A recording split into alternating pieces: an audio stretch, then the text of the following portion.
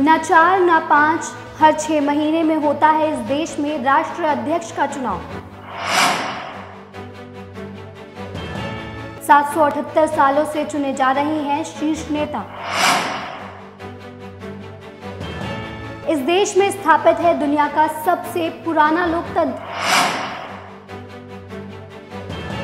इस देश ने दी थी द्वितीय विश्व युद्ध में लाखों लोगों को शरण।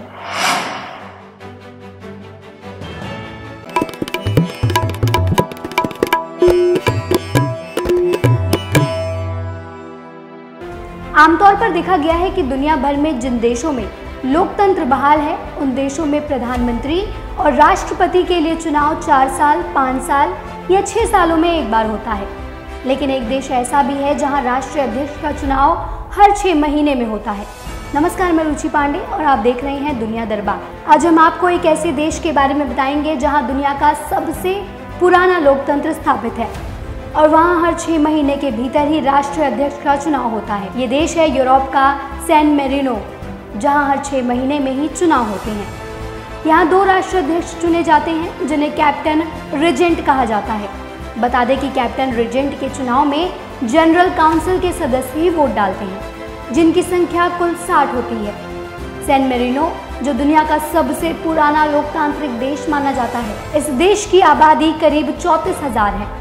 पहली बार यहाँ कैप्टन रिजेंट का चुनाव सन बारह में हुआ था, जिसके बाद से 778 सालों से देश में राष्ट्र अध्यक्ष के चुनाव हर छः महीने में एक बार होते हैं। यहाँ की संसद को अरेंगो कहा जाता है। इस देश में संविधान सन 1600 में लागू हुआ था। तब से इस देश में यही चुनावी प्रक्रिया अपनाई जा रही है। इसमें हर छः महीने में राष्ट्र अध्यक्ष के चुनाव होते हैं। और विपक्षी नेता को देश के शीर्ष नेता के रूप में चुना जाता है। इस देश की संसद अरेंगो के सदस्यों का चुनाव प्रत्यक्ष रूप से होता है, जहाँ हर पाँच सालों में इन सदस्यों का चुनाव किया जाता है।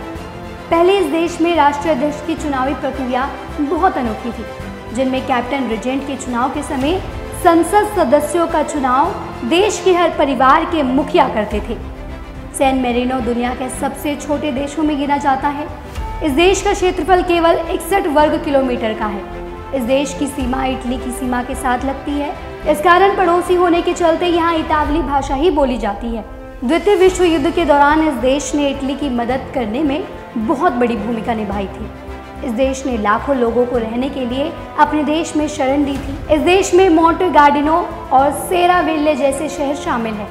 2009 तक इस देश को टैक्स हेवन कंट्री के नाम से जाना जाता था। यानी जहाँ टैक्स दूसरे देशों की तुलना में बेहद कम लगता हो, या नहीं भी लगता हो। लेकिन इसी साल सैन मेरिनो ने आर्थिक पारदर्शिता के नियम को अपनाया, जिसके बाद ये टैक्स हेवन के ग्रे लिस्ट से बाहर हो गया।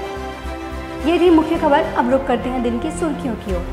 पहली सुर्खी, कभी प्लेबॉय की पहचान रखने वाले पाकिस्तान के प्रधानमंत्री इमरान खान ने कुछ दिनों पहले महिलाओं के कम कपड़ों को रेप के लिए जिम्मेदार बताया था, जिसके बाद से ही खुद पाकिस्तान के लोग अपने प्रधानमंत्री इमरान खान की पुरानी फ़ोटो को सोशल मीडिया पर पोस्ट करके उनकी छोटी सोच को दिखा रहे हैं। इन तस्वीरों में इमरान खान बेहद कम कपड़ों में महिलाओं के साथ पार्टी करते घूमते नज़र आ रहे हैं, जो बहुत तेज़ी से अब सोशल मीडिया पर वायरल हो रही हैं। दूसरी सुर्खी, असली अयोध्या नेपाल में बताने वाले नेपाली प्रधानमंत्री के पी शर्मा ओली ने एक अजीबो गरीब दावा किया है।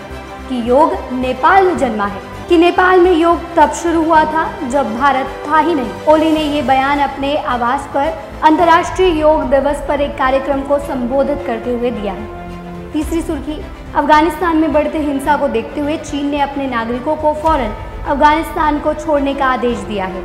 अभी हाल ही में अफगान सुरक्षा बलों तथा तालिबान के बीच हिंसा और अधिक भड़क गई थी। और आतंकवादियों ने देश के कई नए जिलों पर कब्जा कर लिया।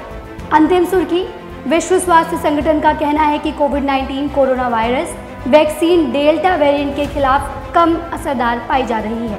हालाँकि ये मौत के खतरे और गंभीर बीमारी से बचा सकती है। डब्ल्यूएचओ के महामारी विशेषज्ञों का कहना है कि कई म्यूटेशन होने की वजह से वैक्सीन का कोरोना वायरस के खिलाफ असर कम हो सकता है। इस रिपोर्ट में फ़िलहाल के लिए इतना ही। अन्य अंतर्राष्ट्रीय खबरों से जुड़े रहने के लिए आप देखते रहिए दुनिया दरबार। धन्यवाद।